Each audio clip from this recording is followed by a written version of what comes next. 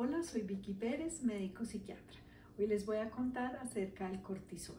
Esta es una hormona muy importante producida a nivel de la corteza de la glándula suprarrenal y es la hormona que llamamos del estrés. Hoy en día que tenemos este mundo de afán, de preocupaciones, de dificultad para descansar, es una hormona que casi todas las personas la vamos a encontrar alta. ¿Qué efectos puede tener entonces en nuestro organismo cuando la tenemos alta y sobre todo sostenida en unos niveles que nos logran retroceder a lo normal? Nos va a traer una posibilidad de aumento del azúcar y esto pues puede asociarse con mayor riesgo de diabetes, puede subir la presión arterial y esto va a tener entonces consecuencias a nivel cardiovascular, va a alterar el sueño, haciendo que sea un sueño con dificultad para que se concilie, que no sea un sueño reparador. Esto a su vez se va a asociar entonces con cansancio. Vamos a tener también la posibilidad de un aumento de peso, ya que el cortisol también tiene que ver mucho con el metabolismo.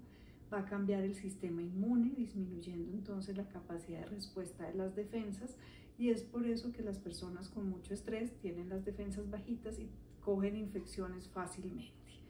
Y algo también muy importante que se va a presentar son los cambios en la memoria, ya que va a haber cambios a nivel del hipocampo y los recuerdos va a ser difícil como poderlos traer y tenerlos presentes.